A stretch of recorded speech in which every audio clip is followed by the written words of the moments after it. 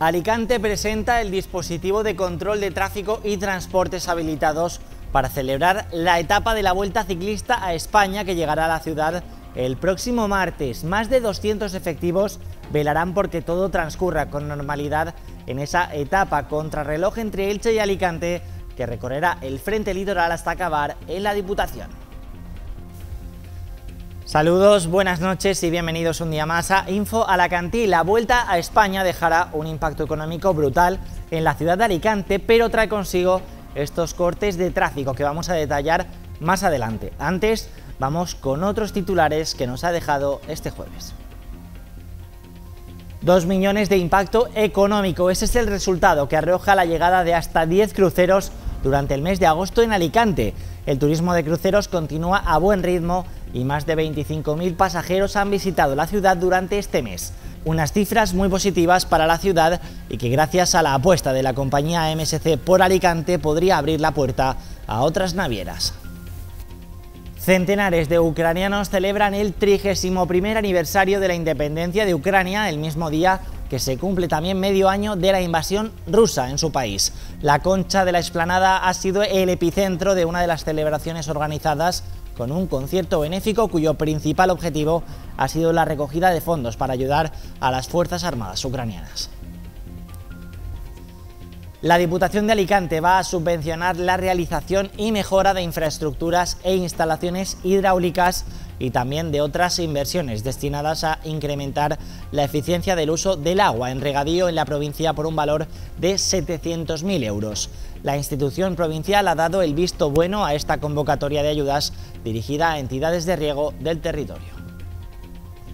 Las concejalías de Cultura y Urbanismo de San Joan de Alacant están trabajando en las últimas semanas para presentar el proyecto a la línea de ayudas con las que van a poder rehabilitar la finca de Conde, Dentro de las obras contempladas en el proyecto se incluye la rehabilitación de las fachadas y los revestimientos interiores, así como la ejecución del forjado derruido en una sala interior muy deteriorada y la reconstrucción del acceso exterior y la escalera de dicha sala.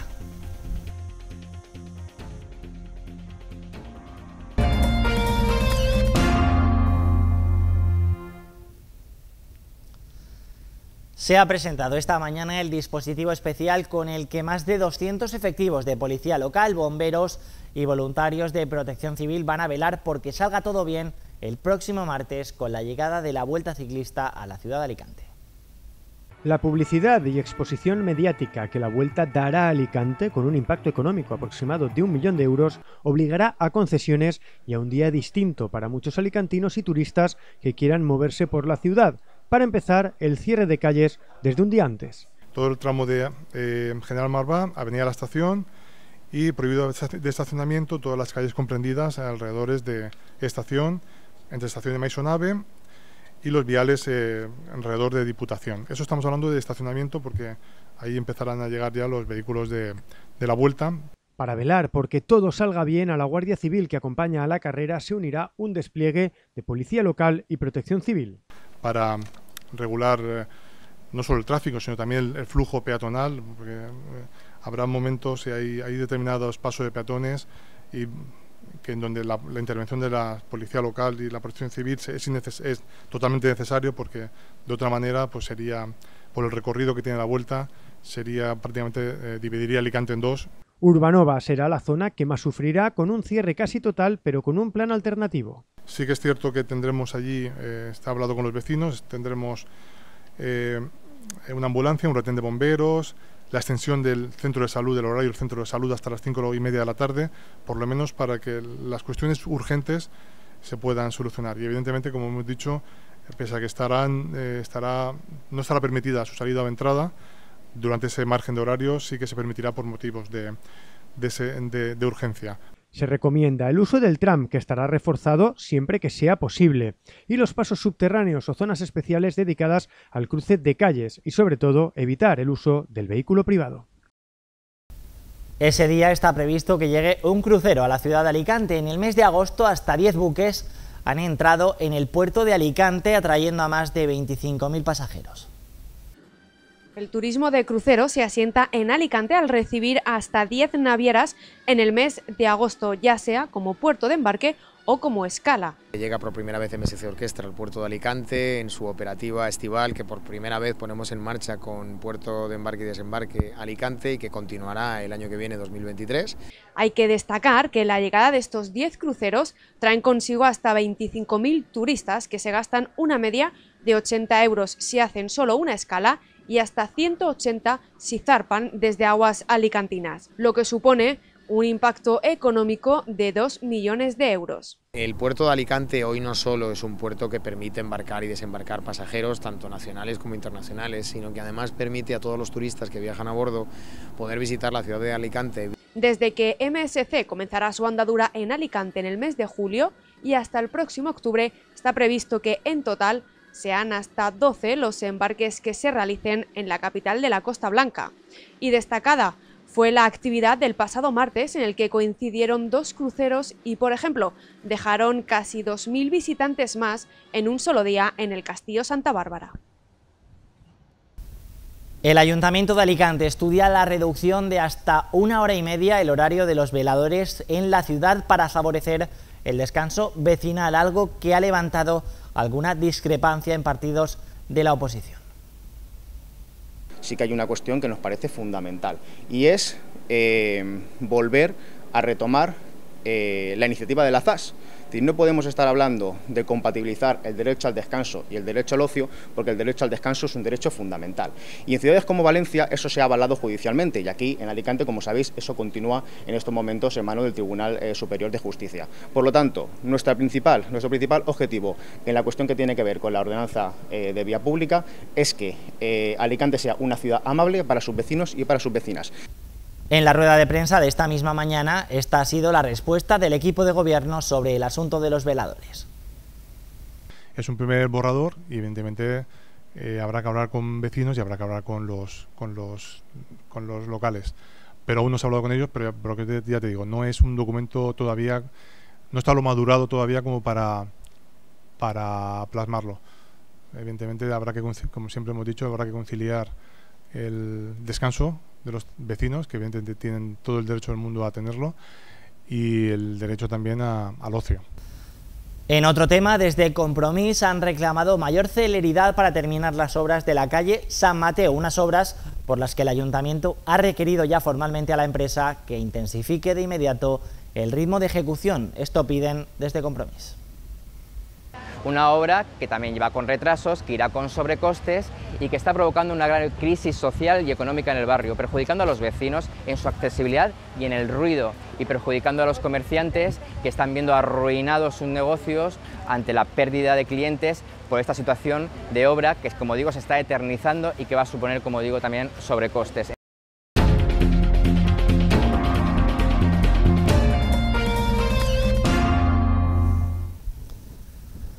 Ucrania celebra el aniversario de su independencia en el mismo día en que se cumple medio año de la invasión rusa. La comunidad ucraniana, que está afincada en Alicante, lo ha celebrado con un acto multitudinario en la concha de la explanada, que ha servido también para recaudar fondos para los soldados que defienden su país. Música para conmemorar el 31 aniversario de la independencia de Ucrania en el día en el que justo se cumple medio año de la invasión rusa. Un concierto, por desgracia, eh, coincide eh, la guerra de seis meses que tenemos y el Día de Independencia de Ucrania. Pero este concierto eh, es más concierto agradecimiento a todo el pueblo español. Era el día de defender aún más unos colores, de defender aún más una bandera como la que desplegaron de más de 100 metros y de defender un sentimiento de pertenencia y de unión. No solo en papel nosotros somos independientes, es enseñar que nosotros tenemos otra cultura, otra, otras tradiciones. En este tiempo tan duro para nosotros tenemos que reunirnos. Entonces es también otro, digamos, otra idea de, de este concierto. Durante el acto, los ucranianos presentes recibieron un mensaje de su presidente Zelensky desde Kiev. Y precisamente para sus soldados era la recaudación de dinero que organizaron. porque al final nuestros chicos no van a dejar de que las tropas rusas pueden entrar más a nuestro territorio. Y todo lo que estamos recaudando es va a la compra de, de estas máquinas. Un acto más reivindicativo que nunca con un mensaje claro. Tenemos que reunirnos, solo, y vamos a ganar. La Diputación de Alicante va a subvencionar este año la realización y mejora de infraestructuras e instalaciones hidráulicas y otras inversiones destinadas a incrementar la eficiencia del uso del agua en regadío en la provincia por un valor de 700.000 euros. La institución provincial ha dado el visto bueno a esta convocatoria de ayudas dirigida a entidades de riego del territorio. El objetivo de la ayuda es el establecimiento, reforma o gran reparación de infraestructuras y otras inversiones que optimicen la eficiencia, la gestión y el control de la utilización del uso de agua para el regadío. El área de ciclo hídrico de la Diputación de Alicante ha invertido en lo que va de la legislatura más de 2 millones de euros para mejorar las infraestructuras de riego de la provincia, de las que se han beneficiado ya medio centenar de comunidades de regantes. En cuanto a los sucesos, agentes de la Policía Nacional han detenido en la localidad de Alicante a una mujer de 49 años de edad por haber denunciado falsamente ser víctima de un robo con intimidación.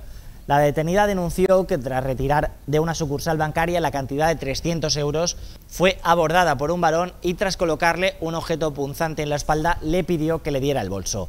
La policía comprobó que el delito no se había producido y la detenida acabó confesando que se lo había inventado todo para cobrar del seguro. Una falsa denuncia como esta le convierte en autora de un delito de simulación de delito y estafa, generándole así antecedentes penales y policiales que le pueden tener graves repercusiones al normal desarrollo de su vida personal.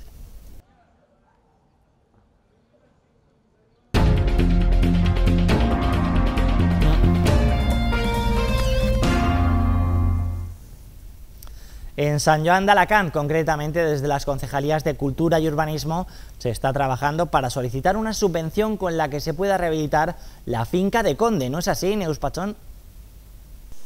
La Generalitat Valenciana aprobó el pasado mes de junio el decreto para promover y conservar el patrimonio y es por ello que el Ayuntamiento de San Joan ha decidido solicitar hasta medio millón de euros para poder rehabilitar esta icónica e histórica finca de Conde. Por ahora no hay un proyecto claro sobre su uso, pero lo más importante que quiere el Ayuntamiento es poder conservar esta finca histórica.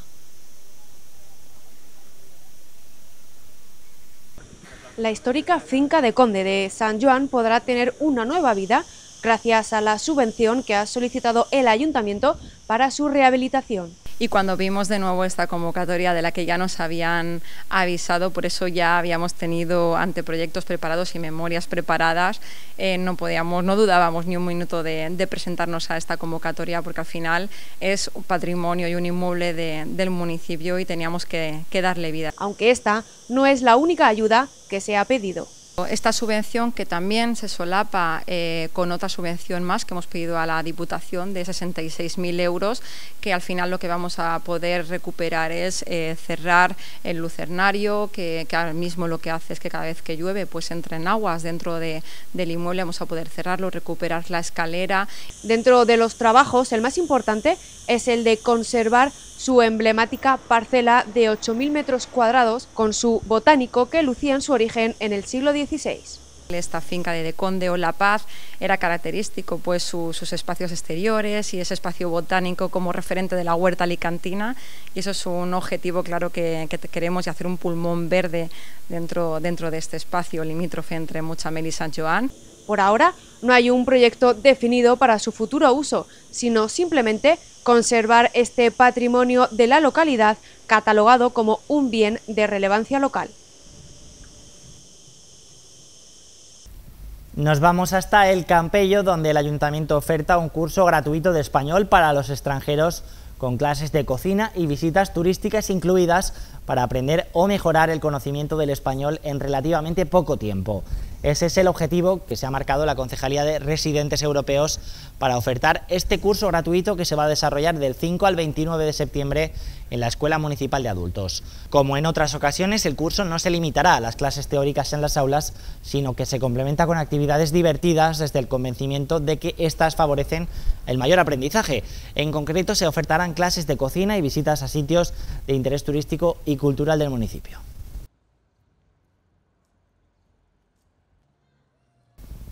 Y también en el Campello, la Concejalía de Deportes anuncia el programa de invierno 2022-2023 de las escuelas deportivas municipales. Del 29 de agosto al 2 de septiembre se van a cursar las renovaciones de las plazas de aquellos que ya tienen derecho a reserva y del 5 al 15 de septiembre se podrán tramitar las nuevas inscripciones.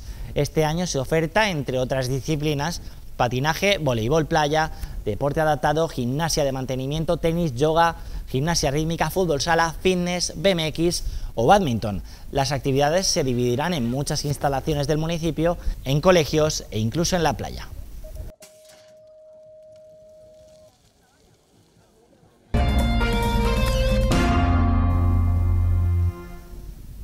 Repasamos ahora la actualidad deportiva. El Hércules ha disputado un nuevo partido de preparación y sigue dejando muchas dudas. Se enfrentaba al Orihuela en el Estadio de los Arcos y caía por tres goles a cero frente a un equipo de una categoría inferior. El Hércules se quedaba con un hombre menos en el minuto 15 y los goles llegaron todos en la segunda mitad. El ex herculano Petja hacía el primero, el segundo era obra de Nacho Muñoz y Brian desde el punto de penalti hacía el tercero. El técnico herculano Ángel Rodríguez afirmaba que aunque perder no es bueno, les ayuda a preparar el inicio de temporada.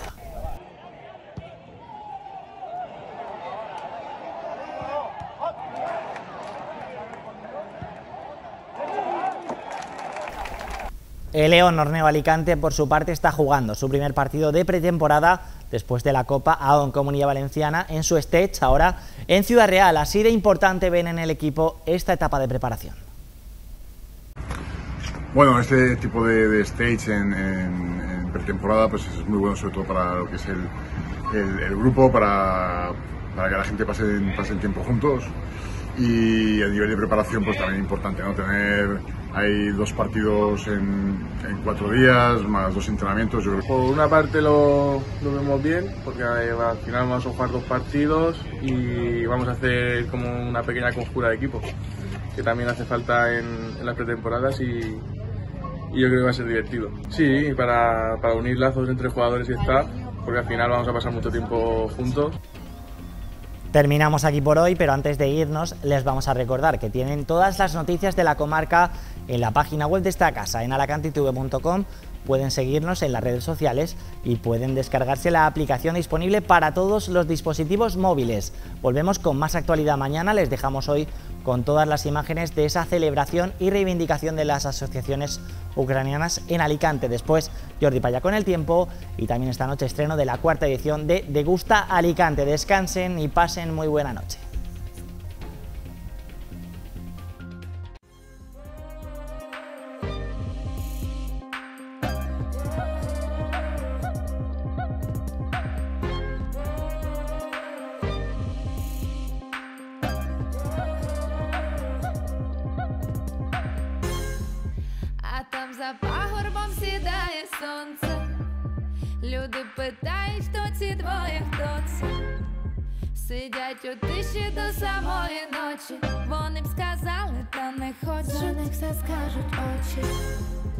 Він покохав її по весні. Мої очі, мов проліски, проліски. Він покохав її по весні. Мої очі, мов проліски, проліски. Він покохав